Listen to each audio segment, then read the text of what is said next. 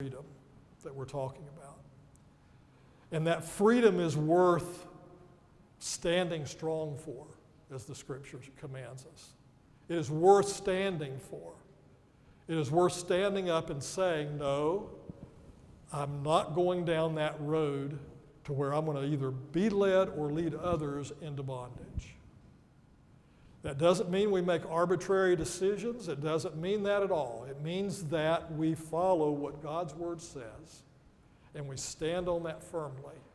It doesn't mean that if I don't like something, I just don't do it. That's, that's as my granddaddy used to say, that's just being ornery.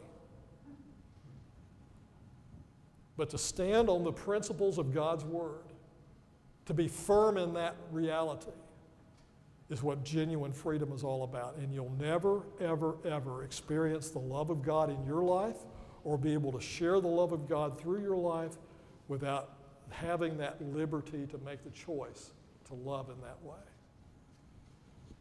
As a pastor, I desire that for you.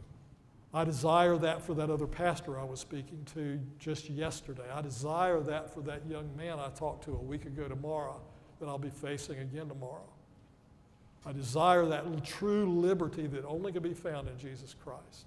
And so today, if you're sitting here and you've never made the decision to accept Christ as Lord and Savior of your life, you need to start that today. That journey begins by you saying, Jesus, I need you in my life. I'm a sinner.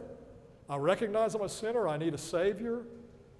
I'm asking you to come in and be my Savior and show me the way so that I might experience this liberty that this guy is talking about today.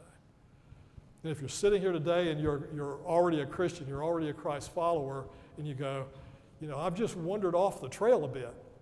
Hey, I, I can relate to that. I understand that. Been there, done that, ain't no fun. Let me come home, Lord. That's the prayer. Let me come home, Lord.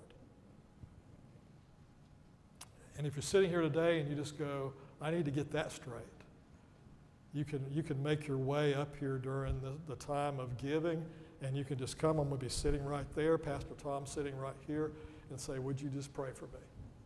And one of us be delighted to pray with you about whatever it is that you're dealing with.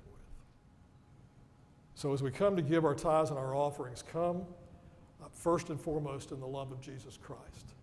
Come freely to give of yourself.